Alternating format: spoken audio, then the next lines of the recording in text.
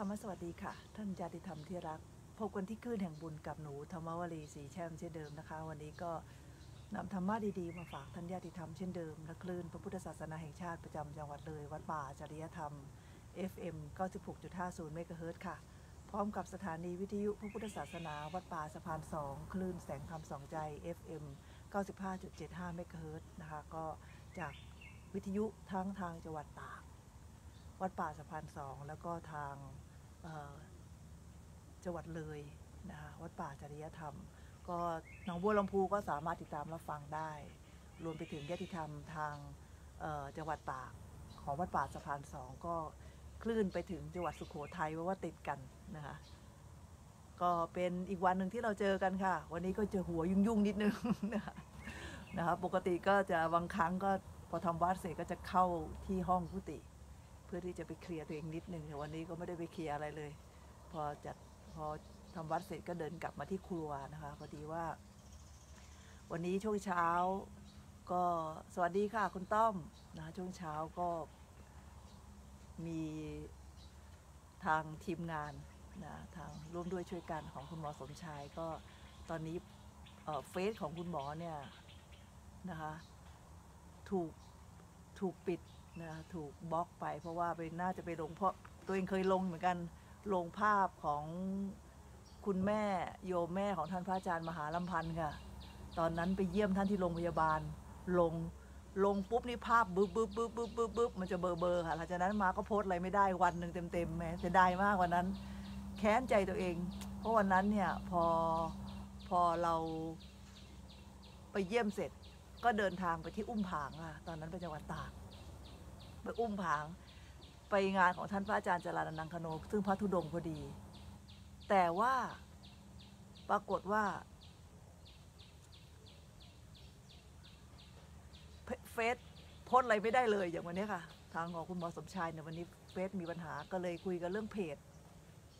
เพจของของคุณหมอนะตอนนี้ก็ทางทีมงานจิตอาสาก็กำลังช่วยกันทำเพจกันขึ้นมา เพื่อที่รองรับนะเสียงเบาเหรอคะ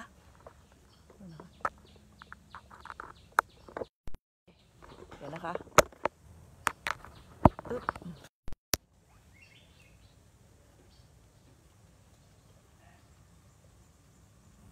นะคะ ก็ตอนนี้เนี่ยก็เรียกว่า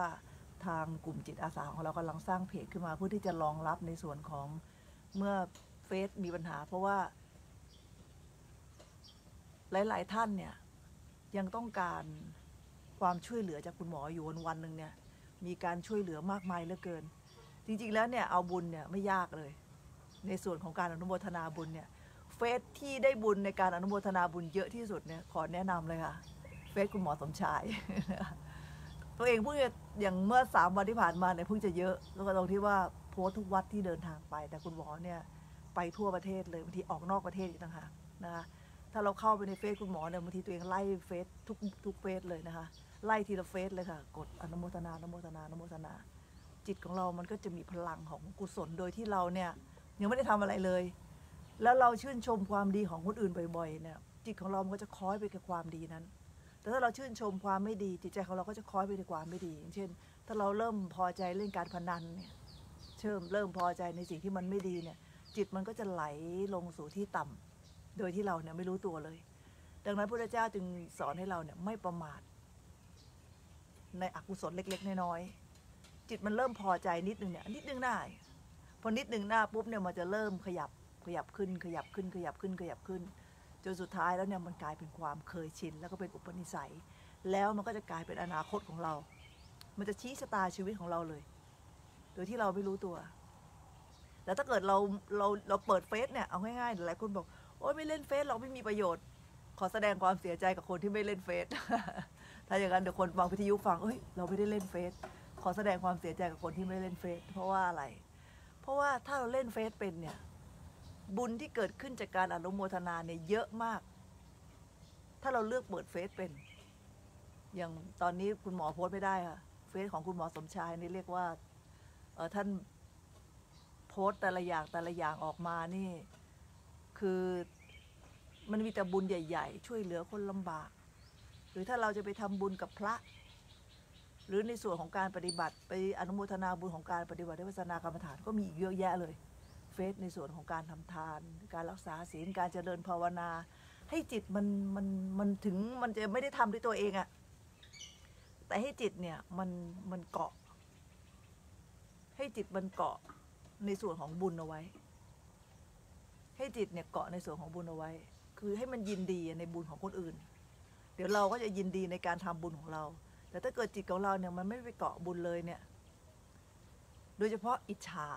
น่ากลัวมาก เรื่องเนี้ยเมื่อเมื่อคืนจัดรายการดูเทศธรรมก็พูดกับท่านพระอาจารย์อยู่ว่า คนเราเนี่ยแปลก พอมีดีปุ๊บเนี่ย มันก็จะกลายเป็นโทษ เหมือนกับคนฉลาดก็จะหลง หลงตัวเอง คนสวยคนหล่อก็จะหลงตัวเอง คนรวยก็จะหลงตัวเอง คนมียศมีอำนาจก็จะหลงตัวเอง พอมันหลงตัวเองปุ๊บเนี่ย ความดีที่มันกำลังเดินหน้าอยู่เนี่ย มันหยุดเลยค่ะ มันไปต่อไม่ได้แล้ว เพราะว่าความหลงอย่าลืมนะว่ามันเป็นอกุศล ยังไม่ได้ทำอะไรเลยละ แต่ความหลงมันมาแล้วเนี่ย ถ้าความหลงมันมาปุ๊บเนี่ย ทีนี้ อเรามาดู Facebook จิตของเรามันมีความหลงตัวเองอยู่ พอเรามาดู Facebook เนี่ย สิ่งที่มันจะเกิดขึ้นจากจิตที่มันมีความหลงตัวเองก็คือ ไม่พอใจคนอื่นละเริ่มมีการแข่งขัน เริ่มมีความอิจฉา เริ่มมีการตำหนิ เริ่มมีการพูดจาว่าเรื่องอะไรก็แล้วแต่ มันจะพัฒนาส่วนของอกุศลขึ้นมาเรื่อยๆ โดยที่เราเนี่ยไม่รู้ตัวเลย แต่ถ้าเกิดว่าจิตของเราเนี่ยมันมีความเคารพ มันมีความอ่อนน้อม มันมีความยินดีในการทำความดี แล้วเข้าใจว่าอะไรเป็นความดี ไม่ว่าจะเป็นเราทำหรือคนอื่นทำเนี่ยมันดีหมด ยกตัวอย่างเช่นการทำทาน ถ้าเราไม่ได้ให้คนอื่นให้ก็ต้องดี แต่บางคนเนี่ยถ้าเราไม่ได้ให้ไปให้ไม่ทันเนี่ย เราเสียดายแล้วทำไมไม่ใช่เป็นเรา เราจะไม่ยินดีในความดีของคนอื่น แล้วส่วนใหญ่ก็จะเราจะดูว่าใครที่ใจแคบเนี่ยมันก็จะหยุดอยู่สั้นๆ ถ้าเกิดใจกว้างก็จะไปไกลๆยกตัวอย่างเช่น ถ้าสมมุติว่าเราเนี่ยทำความดีเนี่ย แล้วเราได้ตำแหน่งตำแหน่งยังไม่ใหญ่เลย ก็แบบพองอะพองโตขึ้นมาโดยที่เราไม่รู้ตัวเนี่ย พอตำแหน่งเราไม่ใหญ่เราพองเร็วเนี่ย เราพองเร็วกว่าอายุเนี่ยพองเร็วเกินกำหนดเนี่ยไปเบ่งคนอื่นเขาไปทับคนอื่นเขาเอาอำนาจไปว่าเขาหรืออะไรเขาเนี่ย คนรอบตัวเราจะเริ่มเกลียดเราแล้วจากที่เคยรักเราอยู่เนี่ยจะเริ่มเกลียดเราละพอเขาเกลียดเราปุ๊บเนี่ยพลังของความเกลียดของมวลชนเนี่ยมันมีพอเราเริ่มไม่ชอบเนี่ย ผู้ใหญ่ที่เขามองลงมาเนี่ยเขาจะแต่งตั้งให้เราเป็นอะไรต่อไปเนี่ยเขาก็ไม่แต่งตั้ง หรือพอมีคนเริ่มเกลียดเราเนี่ยเขาจะเริ่มพูดละพอเขาเริ่มพูดไปปุ๊บเนี่ยชื่อเสียงเราเริ่มหายละเราจะไปต่อไม่ได้ ถึงจะไม่มีใครแต่งตั้งเราก็ไปต่อไม่ได้ มันหยุด เขาเรียกหยุดบุญตัวเอง แล้วมันแปลกตรงที่ว่ามันจะเป็นเรื่องสำหรับคนที่มีบุญก็เป็นส่วนใหญ่ คือคนที่มีอยู่แล้วอะแต่ปรากฏว่าไม่มีความออรอบคอบในการที่จะรักษาบุญตัวเองเอาไว้ กับเอาบุญตัวเองเนี่ยทำร้ายตัวเอง เอาบุญตัวเองเนี่ยทำร้ายตัวเอง เกิดมาหน้าตาดีก็ไม่ได้แปลว่า คนอื่นก็จะดีเหมือนเราไม่ได้อะ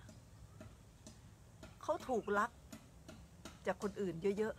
ๆ มันก็ไม่ได้แปลว่าคนอื่นเขาจะรัก เราไม่ได้ รักด้วยกันก็ได้ทำไมต้องให้เกียรติเขาแล้วมารักเราอยู่คนเดียว วิธีการแบบนี้มันเป็นวิธีการของคนที่จะไม่เจริญ คนที่ไม่เจริญเนี่ยมักจะพยายามที่จะทำลายคนอื่น ให้คนอื่นเนี่ยเป็นที่ถูกรังเกียจ แล้วตัวเองก็จะเป็นที่รักคนเดียว ซึ่งมันเป็นไปไม่ได้ สุดท้ายแล้วเนี่ยตัวเองก็จะถูกรังเกียจด้วยเหมือนกัน เมื่อความจริงมันเปิดเผย ว่าเราไปพูดอะไรที่มันไม่ดีพูดอะไรที่มันผิด ใส่ร้ายคนอื่นเขาหรืออะไรก็แล้วแต่นี่มันเป็นการทำร้ายตัวเอง แล้วไม่มีใครช่วยได้ด้วยทำร้ายตัวเองแบบนี้เพราะมันเกิดขึ้นจากตัวเราตรงๆ คนอื่นจะช่วยยังไงก็ช่วยไม่ได้นอกจากว่าเขาจะช่วยเมตตาเรา อภัยให้เราแค่เดียว แต่อย่างอื่นเนี่ยเราต้องแก้ไขที่ตัวของเราเองเป็นอย่างนั้นค่ะทีนี้เมื่อวานเนี่ย ได้พูดถึงเรื่องของทฤษฎี ทฤษฎีที่ว่าด้วยเรื่องของอาหาร อาหารของของพลังงานที่จะทำให้เราเนี่ยประสบความสำเร็จ อาหารที่ที่จะทำให้เราประสบความสำเร็จ เพราะว่าพลังที่จะประสบความสำเร็จได้เนี่ยเราต้องไล่ไปก่อนว่า พลังที่จะประสบความสำเร็จได้คือมี หนึ่งศรัทธาสองวิริยะสามสมาธินะคะสี่ปัญญาห้าสติ ไม่ได้เรียงนะคะ มีห้าอย่าง มีห้าอย่าง เมื่อกี้พี่ลำดวนถามมาว่าหนาวไหม เมื่อเช้าหนาวค่ะ ก็สิบหกองศา แต่ก็ไม่เท่าไหร่นะ ไม่เหมือนจังหวัดเลยจังหวัดเลยจะเย็นจะหนาวกว่านะที่นี่ยังไม่เท่าไหร่แต่ก็หนาวอะ่ะ ใส่เสื้อสามชั้นค่ะทำวัด ขาดิเอาผ้าห่มวางเอาไว้ ให้มันอุ่นๆไว้ก่อนนะคะทีนี้พูดต่อว่าไอ้พลังเนี้ยถ้าใจของเรามันมีกำลังใจเนี่ยพลังอันเนี้ยนอกจากที่จะทำให้เราเนี่ยได้พบกับความสุขทางโลก แน่นอนละเรายังได้มีโอกาสสะสมบารมีเป็นพลังของบารมี ซึ่งจะทำให้เราพบกับความสุขในทางธรรมด้วย ช่องทางที่มันจะทำให้ไอ้เจ้าศรัทธาเนี่ยมีกำลัง ช่องทางที่จะทำให้วิริยะมีกำลัง ช่องทางที่จะทำให้สมาธิมีกำลัง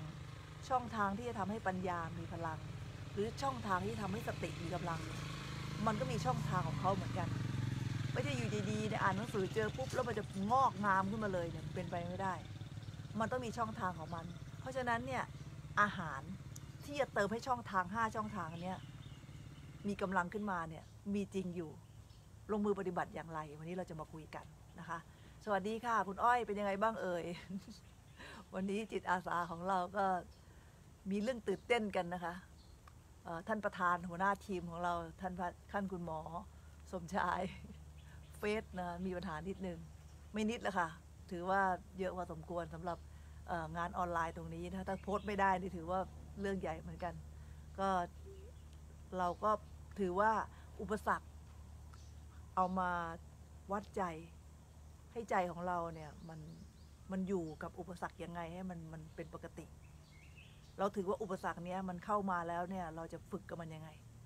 ไหนๆก็ทำอะไรไม่ได้ก็เอาอุปสรรคเป็นที่ฝึกนะคะเป็นที่ฝึกใจ มีปัญหาขึ้นมา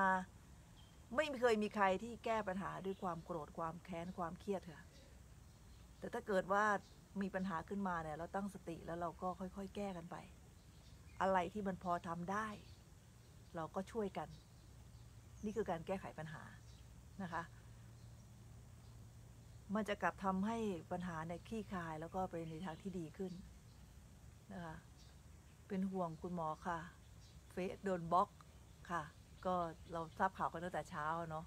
ก็ตอนนี้ก็คุณเห็นว่าคุณนุชกำลังทำทำ ทำเพจอยู่นะคะก็ช่วยกัน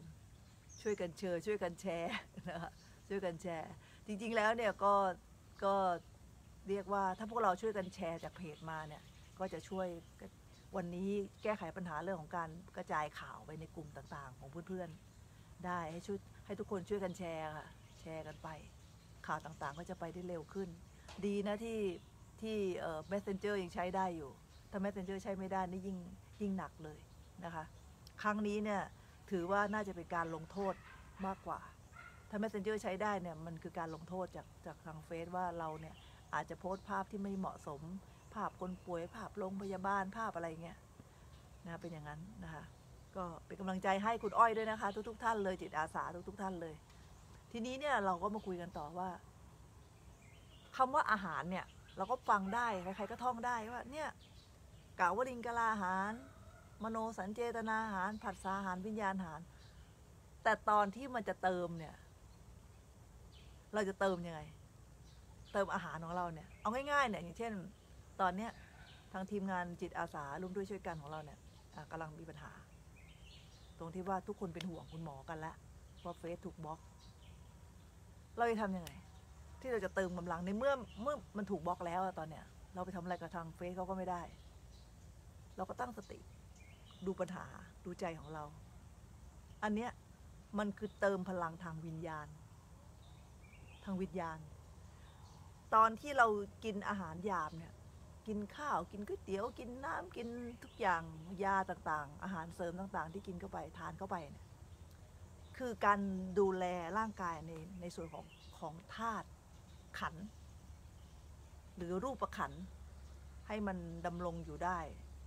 จริงๆแล้วเนี่ย เขาบอกว่าร่างกายคนเราเนี่ย ถ้าไม่กินอาหารเนี่ยสักเจ็ดวันก็อยู่ได้นะ แต่น้ำเนี่ย ถ้าเกิดเกินเกินสามวันก็น่าจะไม่ได้แล้วไม่แน่ใจนะครับจำมาผิดผิดถูกๆแต่น้ำเนี่ยขาดไม่ได้ มันต้องใช้น้ำในร่างกาย ถ้าสามวันก็น่าจะตายแล้วค่ะ ก็เคยอดอาหารอยู่อย่างที่ได้เคยเล่าให้ฟังว่าเคยอดจริงๆอะ อดจริง ๆ เลย แต่ว่าน้ำผึ้งยังยังทานอยู่จะไม่ได้ทานให้อิ่มนะคะ ทานแค่เพียงเคลือบกระเพาะ แต่วันหลังๆก็ไม่ได้ทานนะ ทานเฉพาะวันแรก ๆ ก็พอมันเลยสามสี่วันไปแล้วมันก็ไม่หิวแล้วนะ เคยลองอดอาหารอยู่เหมือนกันเขาอดกันก็เลยลองอดมั่งอยากรู้ว่ามันเป็นยังไง คืออะไรก็แล้วแต่ที่เรายังเรายังไม่เคยทำอะการถามคนอื่นอย่างเดียวเนี่ย หรือการอ่านหนังสือ หรือการเข้าไปดูคลิป หรือการอะไรก็แล้วแต่ที่มันไม่ได้ลงมือทำเองเนี่ย มันไม่สามารถจะเข้าใจได้ถึงหัวใจที่เขาเป็นกันหรอก คือเราเนี่ยต้องต้องลองทำเองดูว่ามันเป็นยังไง มันต้องทดสอบอะเอาง่ายๆเนี่ยเมื่อก่อนเนี่ยตัวเองเคยลองเคยลองแม้กระทั่งทำฌาน ลองทำฌานดูที่เขาต้องทำให้เป็นวสีอะจะต้องเดินบนอากาศ เดินบนอากาศเดินบนผิวน้ำอะไรเงี้ยก็เคยอ่านของหลวงปู่ฤาษีลิงดำแล้วก็เคยคิดจะลองทำดู พอเราอ่านเข้าใจอะทฤษฎีเราเข้าใจอะ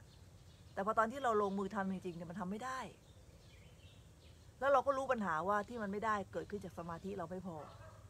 เราจึงทำให้เราเนี่ยเทิดทูนเคารพทุกๆคน ถึงคนที่ได้ฌานคนนั้นจะไม่ใช่คนที่อยู่ในพระพุทธศาสนา อาจจะเป็นศาสนาอื่น ที่เขาทำฌานที่เราไปดูถูกเขาอะว่าเนี่ยผมรูปฟัก หรือเนี่ยเป็นผมนอกศาสนาไม่ถึงมรรคผลนิพพานเนี่ยแต่สำหรับตัวเองเนี่ย จิตมันไม่ได้คิดดูถูกเลย เพราะว่ามันยาก เราเองเนี่ยเรายังทำไม่ได้เลย แล้วในเวลาเดียวกันเนี่ยที่เขาทำได้เนี่ยมันก็เป็นกุศล คือมันอาจจะไม่ใช่ทางสู่มรรคผลนิพพานนะแต่มันก็เป็นกุศลน่ะ ดีกว่าเราอะดีกว่าที่เราเป็นอยู่ในปัจจุบันนะปัจจุบันเนี่ยแต่อะไรเงี้ยน้อยเนี่ยไอ้ที่เรามีอยู่เนี่ยอาจจะเป็นสัมมาทิฏฐิเราอาจจะมุ่งตรงไปสู่ทางมรรคผลนิพพานได้ แต่เรายังทำไม่ได้ขนาดเขาอะเราก็ต้องยอมรับในความที่เขาเขาเก่งเขาทำได้นะคะ สวัสดีค่ะคุณหมอสบายดีหรือเปล่าเอ่ยนะคะ คือเราก็ต้องยอมรับว่าเขาทำได้ เพราะฉะนั้นเนี่ย ถ้าเราได้ลองทำอะไรสักอย่างหนึ่งความเคารพในความสามารถของคนอื่นเนี่ยมันจะเกิดขึ้นกับเรา แต่ถ้าเกิดเรานั่งเทียนอ่านนั่งเทียนเขียนนั่งเทียนดูดูแต่เฟซดูแต่ไลน์อย่างเดียว แล้วเราไม่ยอมลงมือทำเนี่ย วันวันๆหนึ่งเนี่ยเราจะไม่ทำอะไรนอกจากนั่งดูถูกคนอื่น เราจะนั่งดูถูกคนอื่นว่าเออนั่นไม่ดี อันนี้ไม่ดีเพราะเราอ่านหนังสือเจอมาหมดแล้ว แต่เราไม่รู้ว่าไอ้ตอนที่ลงมือทำเนี่ยมันยากแค่ไหน เราเองเราก็ทำไม่ได้ อย่างเช่น คนที่เขาอย่างที่ยกตัวอย่างไปเรื่องของการทำฌานทำฌานเราไปดูถูกว่าไอ้นี่มันผมรูฟักไม่ถึงมรรคผลนิพพานแล้วเราก็จิตใจของเราเนี่ย เราก็ไปดูถูกเขาโดยที่เราไม่รู้ตัว แต่วันหนึ่งถ้าเราลองทำฌานดูอะเพราะว่าจริงๆนั้นเนี่ยสมาธิต้องถึงถึงระดับฌานเลยนะคะ ถึงจะสามารถที่จะทำอภินิหารต่างๆได้เนี่ย มันต้องเป็นฌานขึ้นไปอะโอ้โหมาทำจริงๆคือมันไม่ใช่เรื่องง่าย ๆ มันยาก จิตมันไม่ใช่แค่แบบคุณเข้าสมาธิได้จตุตฌานแล้วคุณก็จะได้เหาะเลยก็ไม่ใช่นะ ได้จตุตฌานแล้วเนี่ยตตจตุตฌานนั้นเนี่ยต้องมีความเขาเรียกว่ามีความมั่นคงทางจิตใจอะ่ะ หรือในพุทธศาสนาของเราเรียกว่าวสีต้องมีวสีอะคือมันชำนาญอะเหมือนคนยิงปืนอะ อย่างเราหัดยิงปืนใช่ไหมเราก็เล็ง เล็งอย่างนี้ยังยิงไม่ถูกเลย แต่คนที่ชำนาญเขาหยิบขึ้นมาปุ๊บยิงปั้งปุ๊บถูกเลย อันนี้คือคนที่มีความชำนาญ สวัสดีค่ะ แม่ประนอม เพราะว่าเพราะว่าชื่อเหมือนแม่ประนอมพอดีนะคะ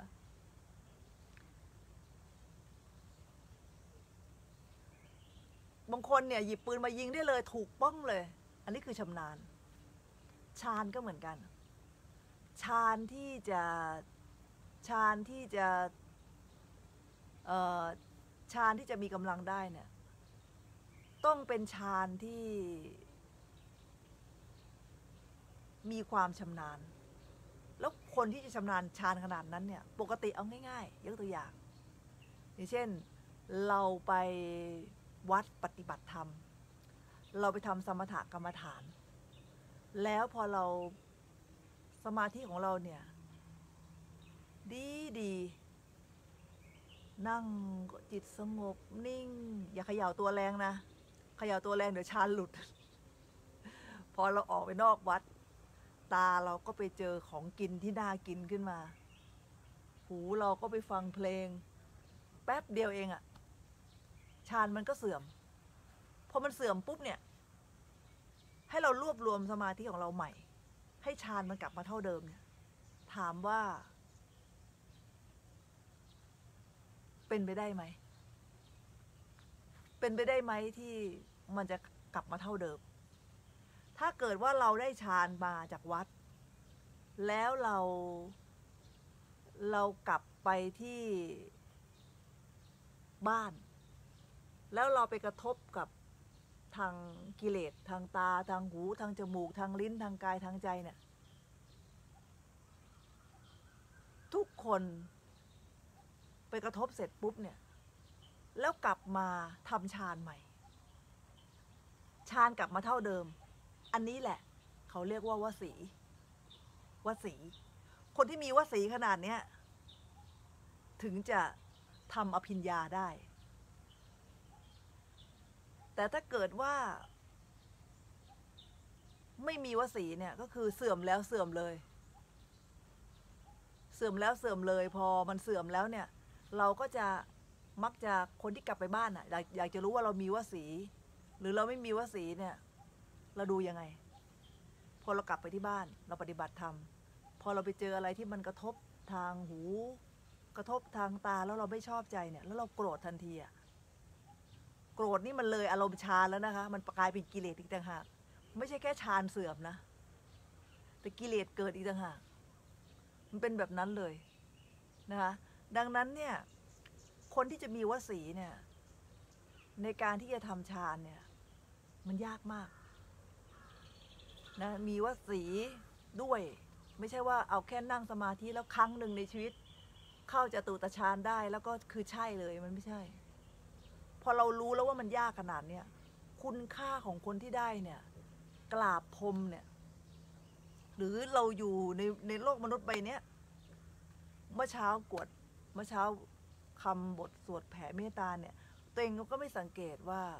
คนที่อยู่ในโลกเนี่ย ในภูมิทั้งสามนะคะในภูมิทั้งสามเนี่ย ที่อยู่บนโลกใบนี้ก็คือมีทั้งเทวดา มีทั้งมนุษย์ มีทั้งสัตว์เดรัจฉานเนี่ย ในโลกใบเนี้ยที่เราอยู่กันเนี่ย ที่ชัดๆอยู่แน่นอนอาศัยโลกใบนี้อยู่เลยนะเอ่อเทวดาก็คือชั้นจาตุมหาราชิกาที่อยู่เป็นที่เราเรียกว่าแม่ย่านาง แม่ย่านาง เทวดาประจำต้นไม้ เทวดาประจำบ้าน หรือแล้วอีกอย่างหนึ่งว่าพระภูมิเจ้าที่นะเรียกว่าภูมิเจ้าที่นี่แหละ ก็คือเทวดา ดังนั้นเนี่ยทั้ง ทั้งภูมิทั้งสามกำเนิดสี่ก็คือเกิดกำเนิดทั้งสี่ก็คือเกิดในเกิดเป็นโอปปาติกะ เกิดเป็นเกิดจากไข่เกิดจากเอ่อเท่าเกิดจากจากเอ่อสิ่งสกปรกอะค่ะ เชื้อโรคเกิดจากเท่าไข่ต่างๆ แล้วก็เกิดจากคัน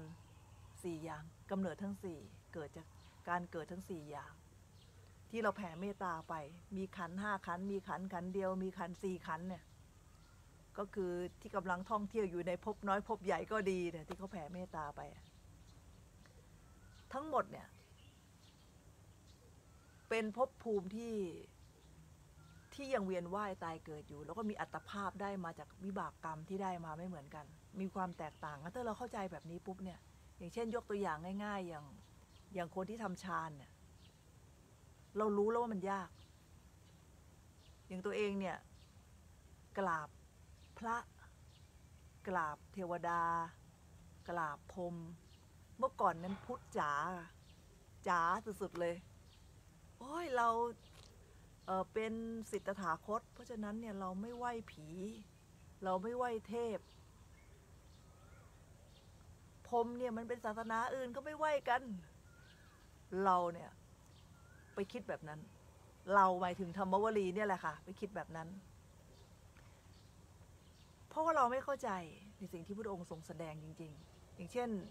การเจริญนุสติ หรือการเจริญอนุสติเนี่ยก็ยังมีเลยว่าระลึกถึง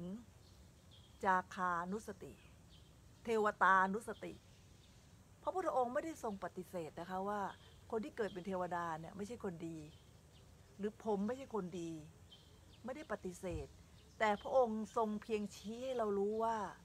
เส้นทางนี้มันไม่มันยังเป็นความสุขที่ยังไม่ถึงที่สุด แต่ก็ไม่ใช่ว่าให้เราไปดูถูกเส้นทางนี้ แต่ทุกครั้งที่อะไรที่ไม่ใช่เนี่ยโดยธรรมชาติของมนุษย์เนี่ยที่เราเกินเข้ารายการมาเนี่ยเราชอบจะดูถูกสิ่งนั้น ปัญหาก็คือว่า เรามักจะดูถูกสิ่งที่เรารู้สึกว่ามันไม่ใช่ เรามักจะดูถูกสิ่งนั้นเสมอ แต่จริงๆแล้วเนี่ย เราไม่จำเป็นที่จะต้องดูถูก เราเพียงแค่ทำใจของเราให้รู้จัก แบบดีๆอะให้เกียรติกัน ถึงเขาจะไม่ใช่ศาสนาเราเนี่ยแต่เรารู้จักดีๆ แล้วให้เกียรติกันอย่างเช่น พรหมอย่างเงี้ยถ้าเราเคยทำฌานเราจะรู้ว่า ไม่ว่าศาสนาไหนเนี่ยฌานคือปรมัตของจิต คือความจริงสูงสุด ไม่จะเป็นต้องเป็นพุทธศาสนาที่ทำฌานได้ ศาสนาไหนๆก็แล้วแต่ ถ้าคนคนนั้นเนี่ยมีสมาธิดี แล้วสมาธินั้นเนี่ยมันดิ่งมันแน่วแน่จนเป็นอารมณ์เดียวจนกลายเป็นอุเบกขาญาณหรืออุเบกขาฌานหรือเป็นจตุตฌานใครๆก็ทำได้ และคนที่ทำได้อันเนี้ยไม่ใช่เรื่องง่าย มันเป็นเรื่องยาก เพราะฉะนั้นเราต้องนับถือ นับถือคนที่เหนือกว่าเราอะ เราถึงจะได้สิ่งที่ดีๆเนี่ยตามไป แต่ปรากฏว่าพอคนเราเนี่ยพอมีความดีที่เราเกินกันตอนเข้ารายการว่าพอเรามีความดีอยู่แล้วเนี่ยเรามักจะ เอาความดีของเราเนี่ยไปเปรียบเทียบกับคนอื่น สุดท้ายแล้วเนี่ยมันเลยกลายเป็นความอิจฉาริษยา โดยที่เราเนี่ยทำร้ายตัวเองตอนที่เราได้ดี ตอนที่เรายากจนตอนที่เราลำบากตอนที่เรามีปมด้อยต่างๆ เนี่ย เรากลับไม่ทำร้ายตัวเองนะ เรากลับให้เกียรติคนอื่น เรากลับเคารพคนอื่น เรากลับ มีความอ่อนน้อมถ่อมตัว มันกลับกลายเป็นการกระทำของความรักตัวเองที่ถูกต้อง แต่ในเวลาเดียวกันพอเราได้ดิบได้ดีขึ้นมาเนี่ย ไม่มีใครทำร้ายเราค่ะ มีแต่เรานั่นแหละที่ทำร้ายตัวเราเอง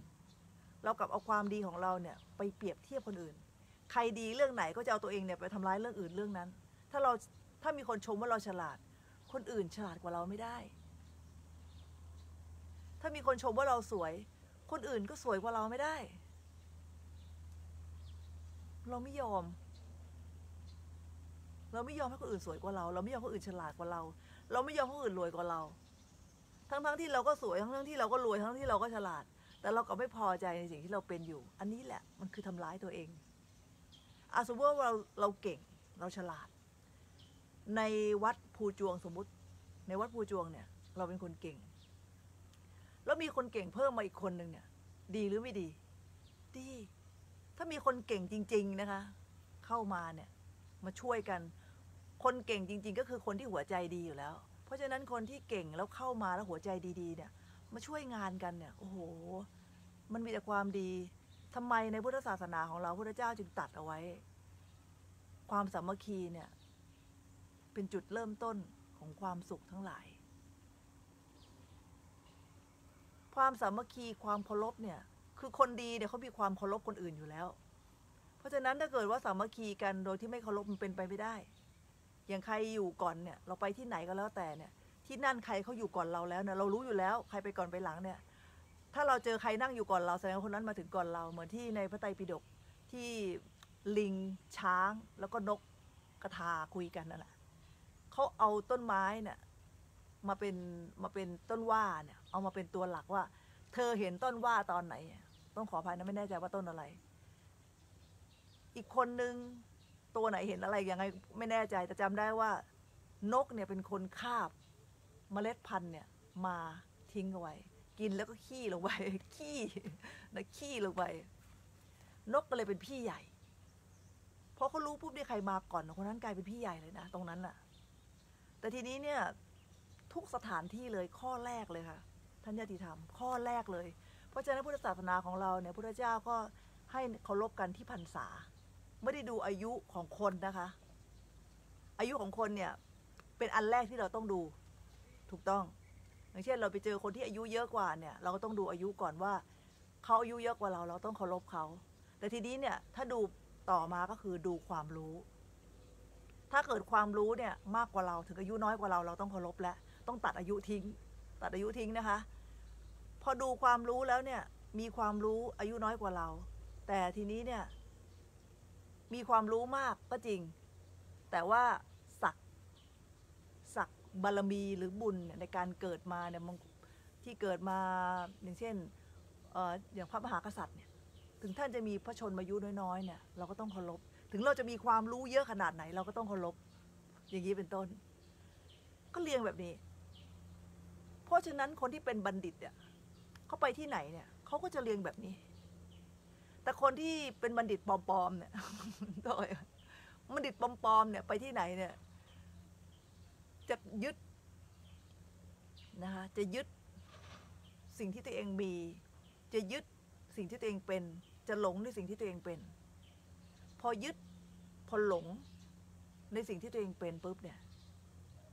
มันก็ฆ่าตัวเองเลยฆ่าตัวเองทันที ทั้งทั้งๆที่เรามีดี เรามีดีอะทำไมอะ สมมุติว่าเราเป็นผู้มาก่อน คนที่เก่งมา เขาให้ความเคารพเราดี เราก็ต้องให้โอกาส แนะนำช่วยกัน เราไม่ได้อยู่ในโลกนี้ค้ำฟ้า แต่ว่าเราอยู่โลกใบนี้ ชั่วคราว เราจะอยู่กับโลกใบนี้แล้วทิ้งประโยชน์ให้กับโลกใบนี้ไว้ยังไง ช่วยกัน ไม่ว่าจะเป็นวัด ไม่ว่าจะเป็นสังคม ไม่ว่าจะเป็นบ้านเนี่ย ทุกที่สร้างบารมีได้หมดเลย แต่ปรากฏว่ามันไม่เป็นอย่างนั้นไอ้คนเท่าที่เจอปัญหามานะ ไอ้คนใหม่ก็จะล้มคนเก่า ไอ้คนเก่าก็กันคนใหม่ ปัญหาคือว่าทุกที่ที่เห็นเลยนะทุกที่ที่เห็นก็คือ ไม่ว่าจะเป็นสังคมไหนไอ้คนมีอำนาจเก่าเนี่ย ก็ไม่เปิดโอกาสให้คนใหม่เนี่ยทำอะไร ส่วนไอ้คนใหม่เข้ามาเนี่ย ก็คิดว่าตัวเองเก่งอะ่ะเก่งกว่าคนเก่า เพราะฉะนั้นเนี่ยจะไม่มีความเคารพคนเก่า มันก็เลยอยู่ด้วยกันไม่ได้ แต่ทีนี้เนี่ยถ้าเกิดว่าคนเก่าเนี่ย เขาอยู่ในที่ที่เขาเป็นของเขาอยู่ คนใหม่เข้ามาให้ความเคารพถ้าคนเก่า ไม่เปิดใจกว้าง งานมันก็ต่อไปไม่ได้อีกเพราะฉะนั้น ความดีที่เรามีอยู่เนี่ย เราจะต้อง พอดีว่าข้อความของกลุ่ม ตัวเองลืมลืมลืมปิดแจ้งเตือนเอาไว้ ทางกลุ่มจิตอาสาค่ะเด้งเข้ามาตลอด สมาธิก็เลยเสียนิดนึงนะคะแต่ทางท่านผู้ฟังคงไม่เห็นอะไรแต่ตัวเองเห็นไงทุกทีเนี่ยก่อนจะเข้ารายการเนี่ยจะต้องปิดแจ้งเตือนกลุ่มจิตอาสาก่อนหนึ่งชั่วโมง ก็จะมีให้เวลาค่ะ แจ้งปิดตอนไหนตอนไหนไอเราก็ลืมปิดเอาไว้เมื่อกี้รีบเข้ารายการเพราะมัวแต่คุย คุยเสร็จแล้วก็เข้ารายการเลย ก็เลยปรากฏว่าตอนนี้ข้อความมันเด้งเด้งเด้งเด้งเด้งเด้งกว่าข้างหน้าตลอดปิดหน้าจอนะคะ ก็เลยทำให้เอคุยไปแล้วสมาธิมันก็เลยเสียนิดนึงต้องขออภัยก็เลยแจ้งไว้นิดนึงว่า ที่เล่าให้ฟังไม่ได้ว่าใครนะคะ แต่ว่าแจ้งให้ฟังว่าสมาธิมันเสีย เกิดอะไรขึ้นกับอาจารย์ธรรมวรีวันนี้ทำไมถึงพูดพูดหยุดหยุดพูดพูดหยุดหยุดอะไรเงี้ยนะคะ ทีนี้เนี่ยก็พูดกันต่อว่า อันดับแรกเนี่ยเราต้องรักษาใจเป็น จริงๆ แล้วเราพูดกันมาจากเรื่องของปัญหาที่ทางคุณหมอเนี่ยถูกบล็อก แล้วเราก็เลยทำยังไงให้ให้เรามีสติทำให้เรามีกำลังมีใจที่จะอยู่กับปัจจุบันให้เป็นกัน เราจะได้ช่วยกัน ตอนนี้ทางกลุ่มจิตอาสาก็มีสติช่วยกันที่จะทำทุกอย่างให้มันดีขึ้นไอ้พลังตรงนี้แหละค่ะมันคือบารมี พลังตรงนี้แหละค่ะมันคือบารมีค่ะท่านญาติธรรมทีนี้เนี่ยการเติมพลังเนี่ยมันมีอยู่สีช่องทางอย่างที่ได้พูดไปว่า จริง ๆ แล้วเนี่ยหลายคนบอกว่าการที่เราไปใส่ชุดขาวแบบเนี้ยไปนั่งอยู่ในวัดเนี่ยคือการเจริญวิปัสสนากรรมฐาน แต่การเจริญวิปัสสนากรรมฐานเนี่ยก็คือการเติมพลังทางใจ ให้ใจของเราเนี่ยมีพลังขึ้นมา จากสี่ช่องทางนี้แหละ แต่เป็นการเติมโดยการใช้การเจริญสติปัฏฐานสี่เติม เอาสติปัฏฐานสี่เนี่ยเป็นวิธีการเติมหยอด หยอดสิ่งต่าง ๆ อะ เข้าสู่สี่ช่องทางเนี้ยถ้าเราหยอดหรือเอาสิ่งต่าง ๆ เนี่ยเข้าสู่สี่ช่องทางเนี้ยตามหลักสติปัฏฐานสี่ปุ๊บเนี่ยอย่าว่าแต่ความสุขที่เป็นทางโลกเลย ความสุขถึงมรรคผลนิพพานเลยค่ะ วิธีการเติมอาหารเนี่ยสี่ช่องทางคือหนึ่งอาหารหยาบ เกาวลิงกะลาอาหารก็คือการกินอย่างมีสติ อ้ที่เป็นโรคภัยไข้เจ็บเนี่ยโควิดเนี่ยมันไม่ใช่มาจากการกินที่ขาดสติหรอกเหรอ คนไม่กี่คนมีพฤติกรรมการกินที่ขาดสติ จนกลายเป็นโรคพัฒนาตัวเองขึ้นมา แล้วก็ระบาดไปทั่วโลก แล้วก็เราก็มีวิบากกรรมร่วมกันด้วย กรรมมันประเภทเดียวกันมาอยู่กันพร้อมกันในโลกใบเดียวกัน มันก็ทำให้เกิดโรคระบาดขึ้นมา นี่เป็นเป็นการกินที่ขาดสติ การกินที่ขาดสติเนี่ยก็คือการกิน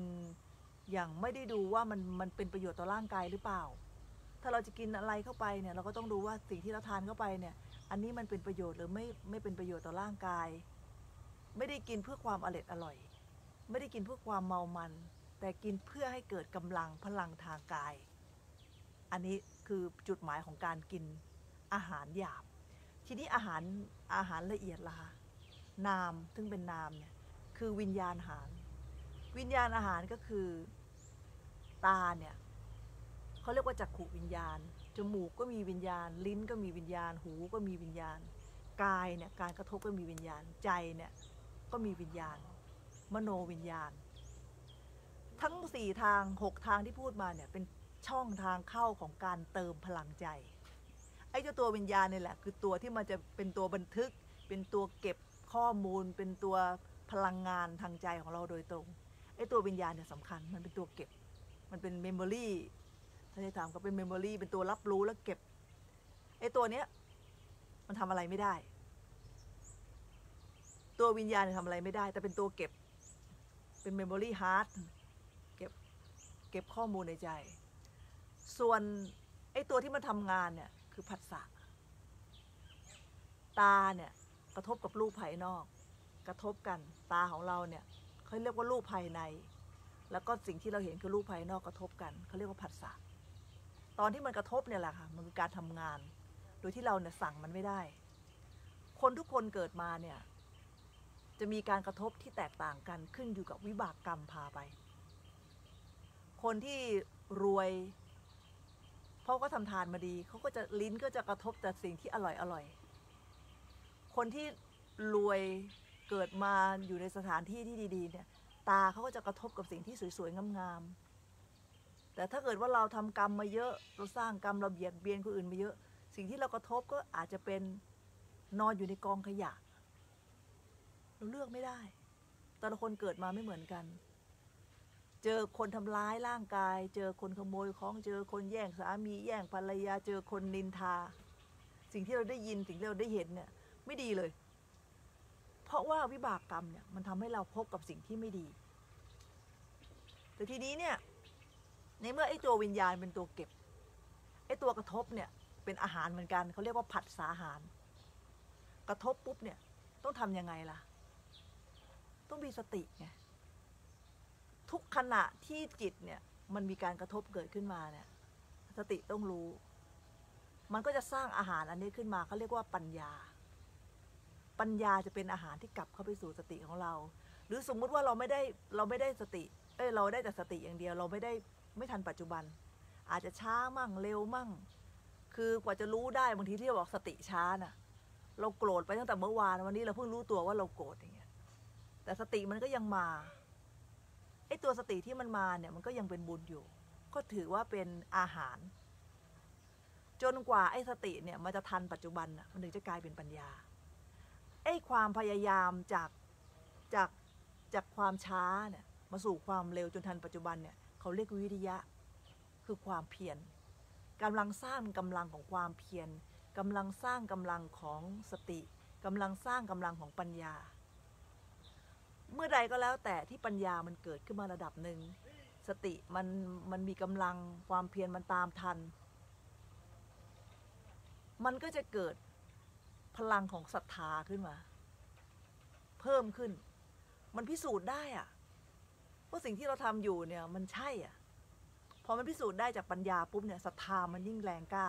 เราจะเห็นว่าพระโสดาบันเนี่ยหรือพระอริยบุคคล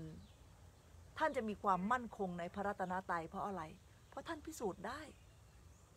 ท่านพิสูจน์ได้ไงคะ ท่านถึงมีความมั่นคงทางจิตใจ นี่คือช่องทางของการสร้าง สร้างกำลังใจให้กับตัวเอง ทุกครั้งเนี่ยแค่ตาเรากระทบหลุกรูปเนี่ยกระทบใครสักคนที่อยู่ข้างหน้าเรา กระทบคนเกลียด รู้ว่าจิตเกลียด กระทบคนรัก รู้ว่าจิตรัก ค่ามันเท่ากันเลย มันไม่ได้ว่าเจอกับคนเกลียดแล้วจิตของเราจะตก เจอกับคนรักแล้วจิตของเรามันจะขึ้นนะ แต่พอเรามีสติรู้ว่าเราเกลียด เรามีสติรู้ว่าเรารัก ตอนนั้นนะสติมีกำลัง ตอนนั้นความเพียรมีกำลัง ตอนนั้นศรัทธามีกำลัง ตอนนั้นสมาธิมีกำลัง ถ้าไม่มีสมาธิสติจับสภาวะธรรมขณะปัจจุบันไม่ได้นะคะปัญญาก็มีกำลังขึ้นมา มี ศรัทธา มีสติ มีวิริยะ มีสมาธิ มีปัญญา มันจะมีการสร้างพลังของความสุขทำไมถึงเรียกว่าพลังของความสุข เพราะว่าถ้าจิตมันเป็นกุศลแบบนี้ตลอด เราจะเอาความทุกข์มาจากที่ไหน ถึงเราจะเกิดมาจน ถึงเราจะเกิดมาโง่ ถึงเราจะเกิดมาพิการ ถึงเราจะเกิดมาไม่มีอะไรสู้คนอื่นเขาไม่ได้เลยอะ แต่ถ้าเกิดเรามีสติ อยู่กับปัจจุบัน คนที่มีสติเขอไม่มานั่งคิดเอาตัวเองไปเปรียบเทียบกับคนอื่น ให้มันนึกความน้อยอกน้อยใจ ไอ้การเปรียบเทียบเนี่ย มันก็คือตัวมานะนั่นเอง เปรียบเทียบคนอื่นว่าเราด้อยกว่าเขา หรือคนที่มีสติคนที่หลงตัวเองมีตัวเองดีทุกอย่าง เราสวยเรารวยเราอะไรทุกอย่าง แล้วเราก็เอาตัวเองไปเปรียบเทียบกับคนอื่น แล้วเราก็ดูถูกคนอื่น จิตของเราก็เป็นอกุศล คนที่มีสติ ก็จะไม่มีทางจะเอาตัวเองไปเปรียบเทียบกับคนอื่น เพราะจิตที่มันเป็นสติอะมันไม่ใช่ตัวมานะ มานะมันเป็นอกุศล